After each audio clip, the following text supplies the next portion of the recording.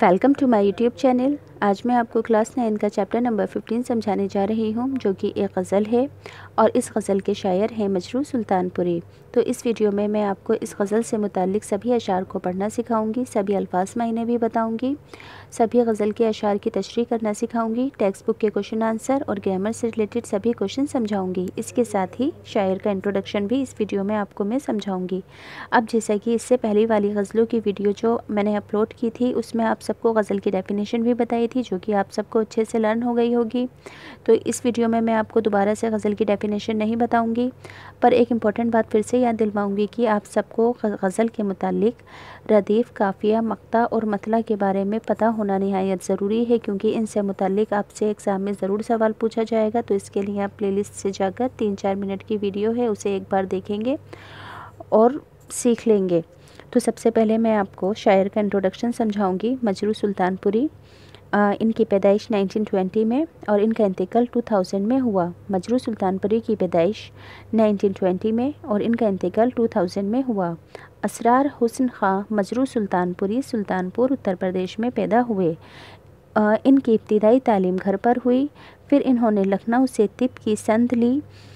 اور طبابت کا پیشہ اختیار کیا۔ طبابت یعنی کہ ہائیڈرو تھیریپی لیکن بچپن سے ہی انہیں شاعری سے لگاؤ تھا اور بہت جلد وہ طبابت کو چھوڑ کر صرف شاعری کرنے لگے۔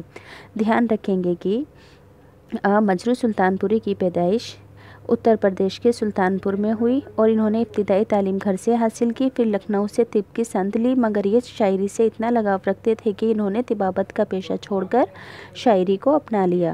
بعد میں وہ ممبئی چلے گئے اور انہوں نے فلموں کے لیے بہت سے مقبول اور مشہور گیت لکھے۔ ان کا شعر پڑھنے کا انداز ادبی حلقوں میں بہت مقبول ہوا۔ ان کا شعر پڑھنے کا انداز ادبی حلقوں میں بہت مقبول مشہور ہوا۔ ان کا شمار ترقی پسند غزل کے نمائندہ شاعروں میں ہوتا ہے۔ ان کا شمار ترقی پسند غزل کے نمائندہ شاعروں میں ہوتا ہے۔ ان کے کلام کے مجموعے غزل اور مشعل جاں کے نام سے شائع ہو چکے ہیں۔ ان کے کلام کے مجموعے غزل اور مشعل جاں کے نام سے شائع ہو چکے ہیں۔ مجرو کو اقبال اعزاز جسے عام طور پر اقبال سمان کہتے ہیں۔ اور دادا صاحب پھالکے ایوارڈ کے علاوہ بھی دیگر انعامات و اعزازات سے نوازا گیا ہے۔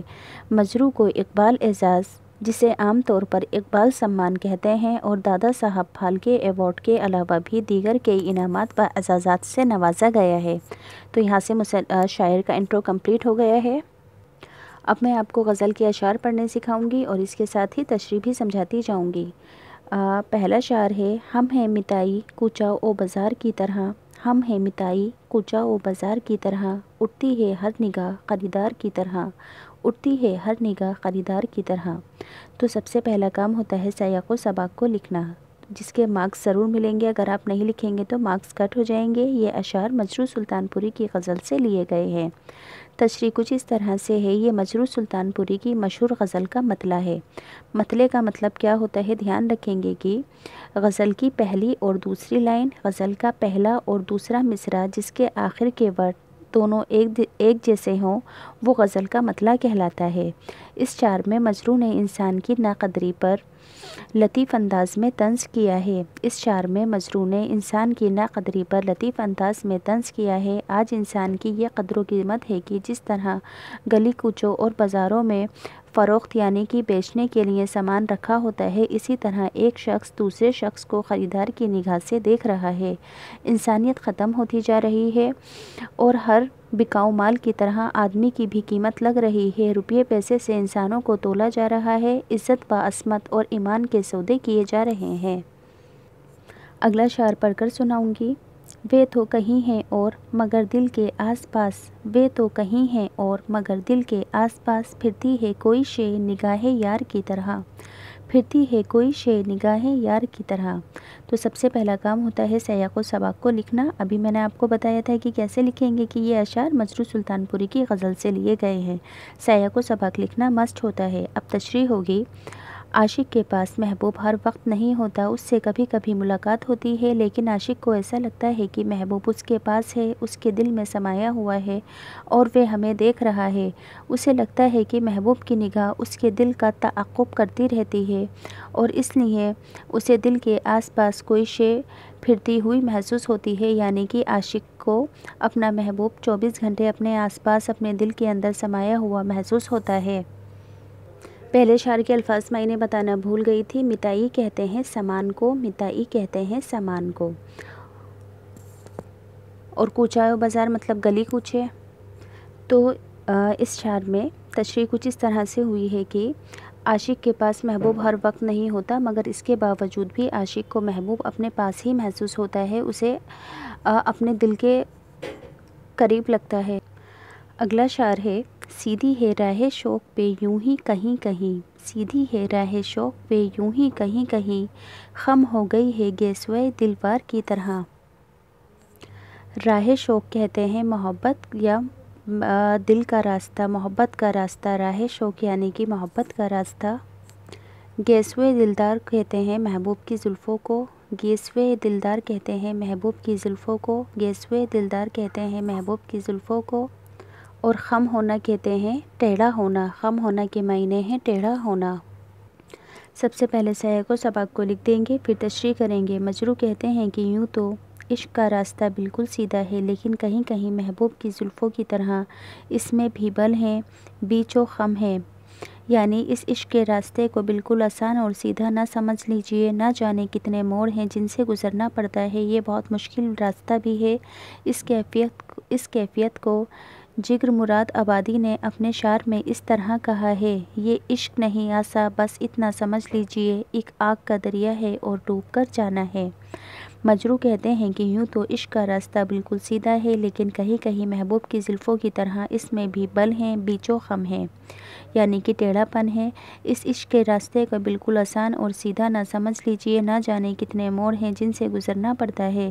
اس کیفیت کو جگر مراد آبادی نے اپنے ایک شعر میں اس طرح کہا ہے، یہ عشق نہیں آسان، بس اتنا سمجھ لیجیے، ایک آگ کا دریا ہے اور ڈوب کر جانا ہے۔ نیکسٹ شعر ہے، بے تیشہ نظر نہ چلو، راہ رفت گاہ۔ بے تیشہ نظر نہ چلو راہ رفت گاہ ہر نقش پا بلند ہے دیوار کی طرح۔ ہر نقش پا بلند ہے دیوار کی طرح۔ تیشہ کہتے ہیں کدال کدال کو۔ تیشہ کہتے ہیں کدال کو۔ راہ رفت گاہ کا مطلب ہوتا ہے گزرے ہوئے لوگوں کا زمانہ۔ راہ رفت گاہ یعنی کہ گزرے ہوئے لوگوں کا زمانہ۔ اور نقش پا کہتے ہیں پیروں کے نشان کو۔ سیاق و سبق لکھنے کے بعد تشریح اس کس اس طرح لکھیں گے۔ مجرو اس شعر میں نئی نسل سے کہہ رہے ہیں کہ ہم سے پہلے جو لوگ چلے گئے۔ انہوں نے ہمارے راستے میں اپنے خیالات کی بلند دیواریں کھڑی کر دی ہیں۔ اگر ہمیں اپنا راستہ الگ نکالنا ہے تو راستہ بنانے کے لیے اپنی نظر سے کدال کا کام لینا ہوگا۔